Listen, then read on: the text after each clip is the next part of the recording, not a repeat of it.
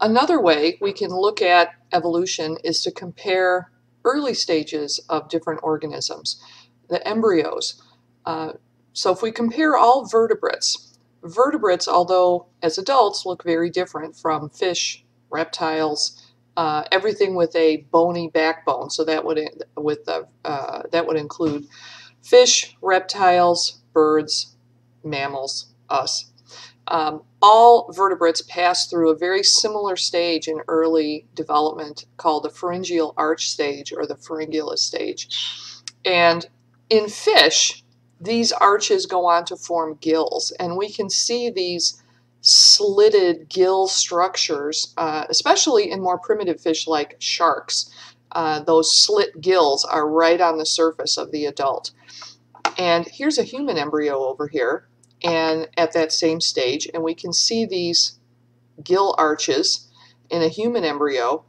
Uh, at this same stage, human embryo also has a tail, which will later be reabsorbed in almost all, almost everybody. So what are these pharyngeal uh, arches doing in all the vertebrates other than fish? Uh, vertebrates that don't have gills, like birds. This is probably a chick, uh, chicken embryo. Usually when they say bird, that's what it is. Reptile, this is probably a lizard of some kind. Um, these arches go on to form parts of our upper and lower jaw.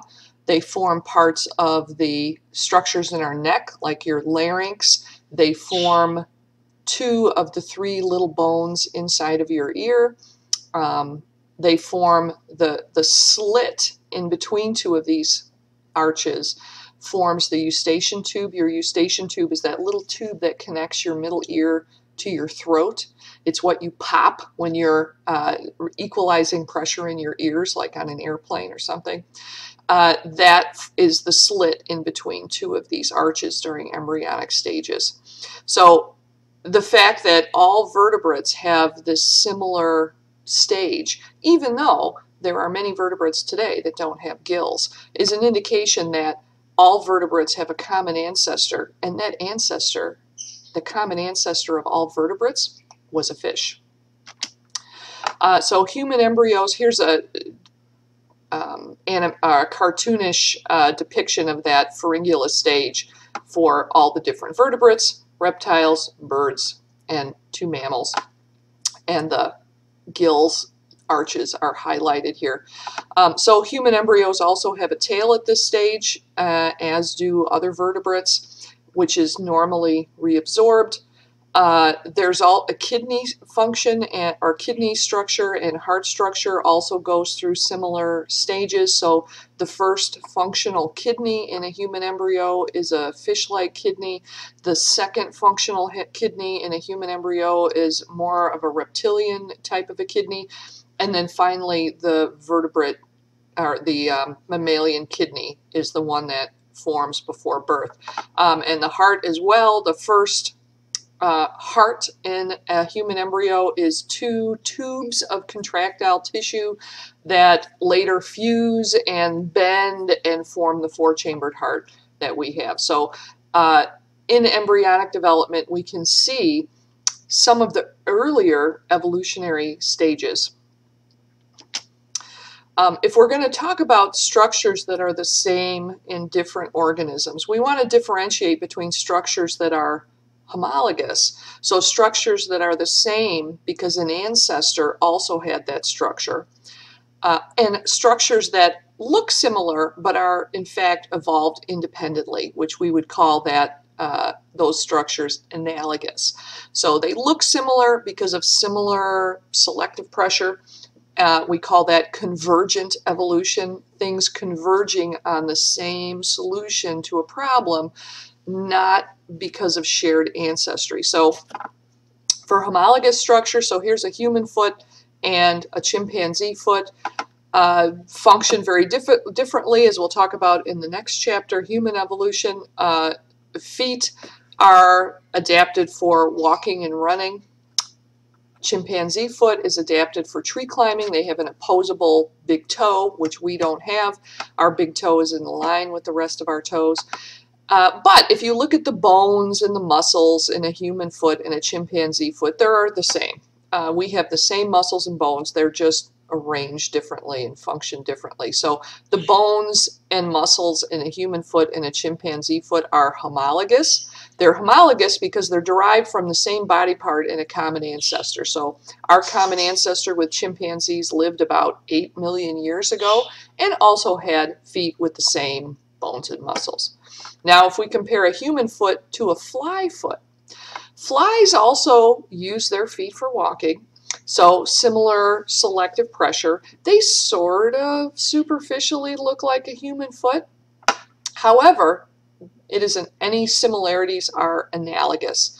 Uh, and in fact are the result of convergent evolution. The same selective pressure needing to be useful for walking uh, has created a roughly similar overall structure, but our common ancestor which fly, with flies, which we do have one, you have to go back much further ago than 8 million years ago though, our common ancestor with flies would have been before the Cambrian explosion, so at least 600 million years ago. That ancestor did not have feet or walk. So uh, any superficial similarities are the result of convergent evolution, not because of shared descent. So uh, it's from similar selective pressure. So the same uh, selective pressure for walking. Uh, if we look at mammalian forelimbs, so forelimb is an F-O-R-E, forelimb, uh, those are our arms, uh, or the front legs on other uh, tetrapods. Our legs are hind limbs of tetrapods. So if we compare the forelimbs, these are uh, very specialized forelimbs. Our forelimb is our arm is much more like the ancestral uh, tetrapod. So tetrapods are all the four-legged land animals. So that includes amphibians like frogs and salamanders, reptiles, birds, uh, and mammals, and dinosaurs as well, although they're extinct. So our forelimb is much more generalized and, and looks much more like the primitive first amphibians that walked on land. And we can see this, this bone structure that will be repeated of one bone, two bones, some little bones, and then five digits. Uh, the number of digits has varied over the course of tetrapod evolution. There are uh, early tetrapods with seven or nine digits as well. Uh, our, our forelimbs are rather generalized, which is why we can do so many different things with them. Um, bats are mammals, and they uh, are the only mammals that can fly, that have evolved true flight. There are gliding mammals, like flying squirrels, that don't really have powered flight. Uh, and again, we have the one bone and the two bones, one of these bones is greatly reduced, little bones and then digits. And they use their digits for supporting this uh, skin flap that's their, uh, that they use for flight. They only really use their thumbs for uh, as a digit anymore, uh, and they use those for climbing and hanging onto things. Now on the other end here, porpoise are small toothed whales. And this same thing would be true for all cetaceans, everything in the whale group. Uh, and inside there, they've lost their hind limbs, as we talked about earlier, but their forelimbs, we can still see the same ancestral tetrapod condition inside. So they still have the one bone, two bones, wrist bones, and five digits inside of their flipper. Uh, horse here has very specialized forelimbs for running. And, but we can still see that ancestral condition of one bone, two bones, wrist bones, and then digits. And so horses walk on their middle digits. The first and the fifth digits have been completely lost, and the second and the fourth digits are greatly reduced. So we sh I showed you a slide earlier where one of these digits had uh, was large and like an actual digit, and that is not that rare in horses. And so we can see one of those little digits there. So you can see why uh, horses break their legs so often. um, very precarious. And so uh, evolution only, natural selection only has the mutations that occur to select from. So sometimes solutions uh, to an evolutionary problem have a downside as well. Um, a vet once told me that horses are one bad stomach on four bad legs because that's usually what kills a horse. But we inside here we can see these similar bone structures. And what this indicates is these these are homologous because the common ancestor of all mammals had these same bones. And so even though they are specialized for very different purposes, there was a common ancestor that had this same one bone, two bones, wrist bones, and digits. Uh, and that's why these are all similar. So they are homologous. Um, if we look at a tree here of vertebrates, so this is uh, the vertebrates and one um, uh, the vertebrates, or I should say tetrapods and their outgroup here. So all vertebrates. Uh, when we draw a tree like this, the branch points represent a new trait, something that one branch lacks and the other branch has. So in this case, each one of these branch points represents uh, an invention, a new uh, trait that evolved in the vertebrate lineage. So the first branch point here was being tetrapods. So our first, uh, so it says digit-bearing limbs. So the first land vertebrates who were not fish were amphibians, uh, which now the amphibians that exist today are frogs, salamanders, and another weird group, the caecilians, which most people haven't heard of. Uh, lungfish are the outgroup because these are in the same group as the coelacanth that I showed you earlier, the lobe-finned fish. They have fleshy, um, uh, limb-like fins, and they are the closest fish relative of the tetrapods. Then, between amphibians and the rest of vertebrates, the rest of the tetrapods, it says amnion. So what that means is eggs that could be laid on land. So amphibians have to lay their eggs in water. They don't have a shell. They just are coated with uh, jelly that doesn't hold on to water. So they have to lay their eggs in either directly in water or in extremely wet environments. Uh, but the reptiles now had an egg with a shell that could resist desiccation. So they did not have to lay their eggs in water. They could lay their eggs on land, which meant that they could exploit new environments, new uh, ecological niches. Uh, then we have the next split here for mammals.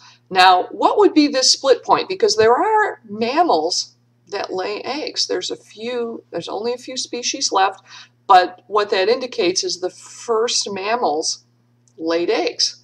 And there's still a few species today that do, like the platypus uh, in Australia and the spiny anteater um, lay eggs.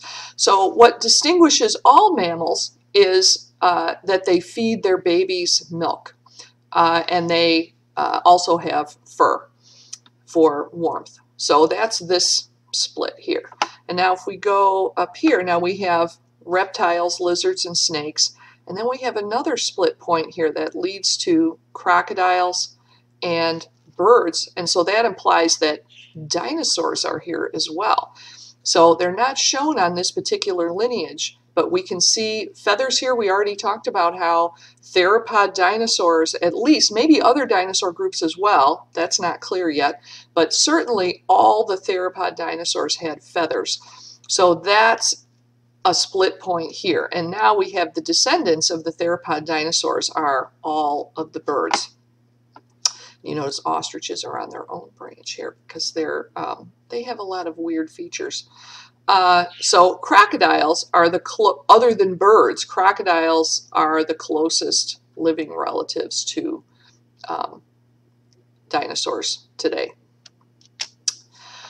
Uh, so the example I showed with the four mammalian limbs, that's an example of homologous, of homologous structures. But what about analogous. So uh, this is one of my favorite examples of convergent evolution. So uh, convergent evolution is the evolution of similar looking traits or features that are due to the same selection pressure acting on different groups. And so they come to resemble each other in particular traits like cactus-like plants evolving both in uh, North American deserts and in Asian deserts from very unrelated groups of plants, but they come to resemble each other because in the desert, the scarcity of water is a strong selection pressure. It's going to drive similar traits to appear by convergent evolution.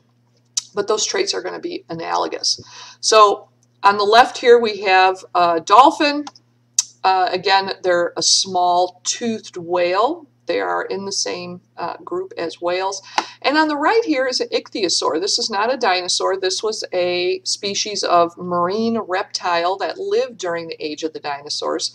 Ichthyes means fish and saur is lizard. So ichthyosaur literally means fishy lizard. And you can you notice a great many similarities. Um, they have a long snout full and a mouthful of sharp teeth um, probably had a similar diet to what dolphins have today, which is that they eat fish. Um, and you'll notice that the, this species as well lost its uh, land limbs, and because it's a it's a reptile, so it's descended from a four-legged land reptile. Uh, still breathed the air. Uh, nostrils for cetaceans are on the top of their head. Also for the ichthyosaur, nostrils are on top of the head. Um, they both evolved a dorsal fin. Now think for a minute, this is definitely an analogous structure. So uh, mammals generally don't have dorsal fins, neither do reptiles. It evolved independently in these two groups uh, because of the selection of needing to swim fast in a marine environment.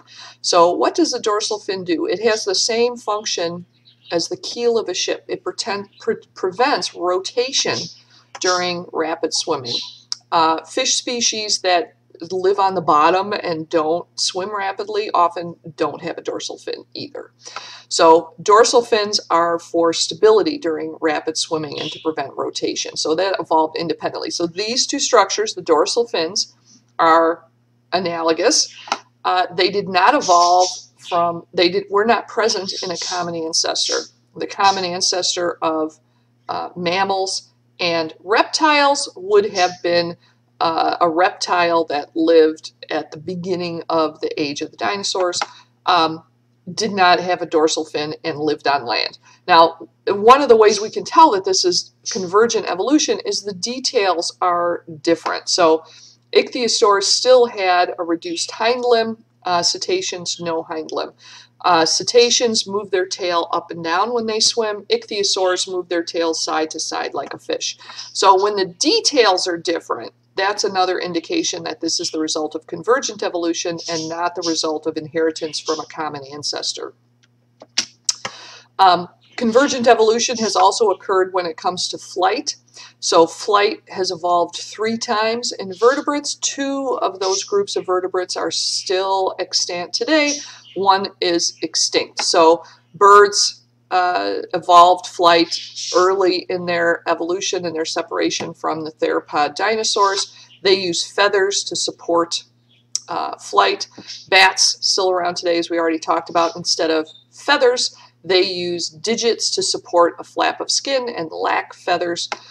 Um, pterosaurs, which are extinct, they also used one digit to support a skin flap. So the details here are different.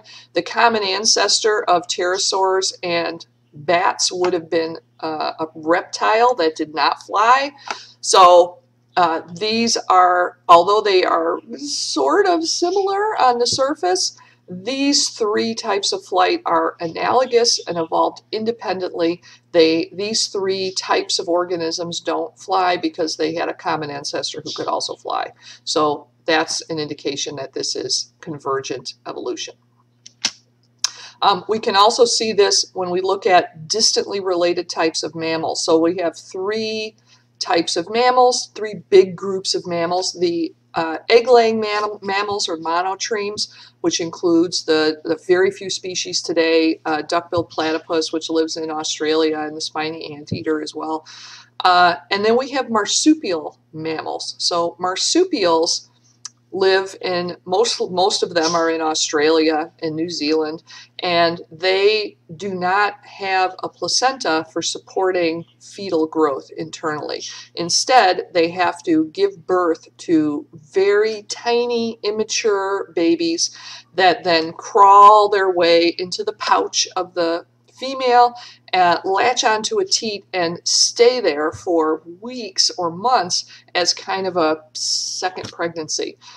Um, so those are the marsupials. And the marsupials include kangaroos, uh, wallabies, koala bears. Uh, those are probably the most familiar ones that you've heard of. Uh, we have one marsupial mammal here in North America who you've probably all seen. They're not endangered. They're quite common. They, uh, you might have seen this particular one getting into your garbage. Uh, they look sort of like a really big rat, uh, but they're not closely related to rats at all. And that is, can you think of what it is? That would be the possum. So possums are, or opossums, are uh, our only native marsupial. So we are members of the placental mammals. Placental mammals occur all over the world. And most of the mammals that are familiar to you, dogs and cats, primates, uh, seals, cows, goats, uh, mice, rats, all of those are uh, placental mammals. And placental mammals have evolved the placenta for feeding larger embryos and fetuses internally so that uh, offspring could be kept internally for longer. And offspring that are kept internally are safer than if you lay eggs. If you lay eggs, you have to guard the eggs or carry them around with you. Uh, and this was uh, a significant evolutionary adaptation, and it was also very successful because, as uh, we can see today, Placental mammals are the most successful, and that would include us. We're placental mammals. But if we compare mammals, uh, marsupial mammals in Australia and placental mammals who don't live in Australia, we see similar adaptations for the same ecological niche. So we have a mouse. Uh, mice are rodents. They're related to uh, rats and squirrels, which are also rodents. Uh, in Australia, they have a mouse-like marsupial that has the same ecological niche. They're nocturnal, they eat insects and seeds, um, they live in burrows in the ground, they're very small, uh, but it's not at all closely related to rodents. It's no more closely related than mice are to kangaroos, for example. Uh, so the similarities that we see are analogous and due to convergent evolution. The same with flying squirrels and uh, sugar gliders, they're, and flying phalangers, their older name we call them sugar gliders now that they're in the pet industry. That sounds nicer. But they both have skin flaps that they use to leap from tree to tree. Uh, but these structures are completely analogous and due to convergent evolution, and flying squirrels aren't any more closely related to uh, sugar gliders than they are to kangaroos. Um, there also used to be large carnivorous marsupials. They are all extinct the only one that's still around is a smaller one, the Tasmanian devil, that you might have heard of. Uh, they actually still exist, although they are endangered at this time. But superficially, they're very similar to the canids. So uh, convergent evolution on a similar body form, similar lifestyle, except for uh, these large marsupial carnivores had a pouch like a kangaroo, kept their babies uh, in the pouch after they were born as tiny little embryos. Um, and again, only the females have a pouch. Uh, sometimes that seems to be misunderstood by people who aren't familiar with uh, marsupials. So when things look really similar, uh, and it's convergent evolution at play, there's another method we can use to double check whether what we're looking at is two species that are very closely related or two very distantly related species that just look similar due to convergent evolution. And that method is called the molecular clock method. and it uses sequenced DNA. And this method has become very, very widely used in the last 20 years as cheap DNA sequencing has become available. Uh, each gene mutates at its own rate. Um, the more important the gene, the slower it accumulates mutations. Uh, genes that are that can are less critical mutate at a higher rate. And what that means is they don't mutations occur at the same rate everywhere in the genome. But if the gene is crucially important, like the cytochrome C gene in mitochondria, uh, mutations that occur there are much more likely to be fatal. So we just don't see them. Um, something like a DNA polymerase is going to, that replicates the DNA is a crucially important enzyme. So it's going to mutate at a very slow rate. The molecular clock is going to tick at a slow rate. But something like the uh, globin genes that are part of hemoglobin, well, mutations can accumulate more easily there. And it's just because mutations are more survivable uh, there. So uh, when you're going to compare different organisms, you pick one gene to use as a comparison. If you're comparing very distantly related things like marsupial and placental mammals, you would use a gene that mutates at a slower rate. If you're comparing, for example, all of the uh, primates, which are all much more closely related, you would use something like globin genes, which mutate at a more rapid rate. So uh, what we have here on the y-axis is the number of differences in the actual DNA sequence. So remember DNA is made of individual nucleotides. When we sequence the DNA, that means we're just determining what that exact nucleotide sequence is. And we can compare different organisms, and of course we have to use computers for this because there's uh, genes that have so many nucleotides in them. Uh, and you can determine exactly how many nucleotides are different, and that's what substitutions means. How many are different between these two species? And that's related to how long ago they were a common ancestor. So what millions of years ago, what this means is when was the last time those two versions of that gene were one gene? And that we can, if we have any um, fossil evidence at all, we can then pin a number line onto the x-axis here uh, and determine how long ago things separated. And if we look here, if we compare uh, cytochrome C gene in horses and versus donkeys or sheep versus goats, which are very closely related species, we find very, very few nucleotide differences. And it would be the same if we compared humans and chimpanzees, which are very closely related. We would find, if we did, it's not on this graph, but if we did human versus chimpanzee, it would also be way down here because we're very closely related.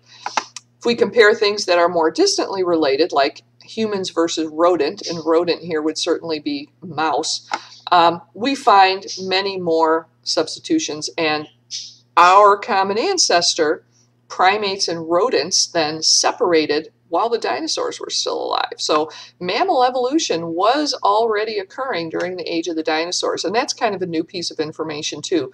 Uh, 40, 50 years ago, it was thought that the dinosaurs were around, there weren't any mammals, and then sometime toward the end of the age of the dinosaurs, mammals first appeared, uh, the dinosaurs went extinct, and then mammals took over.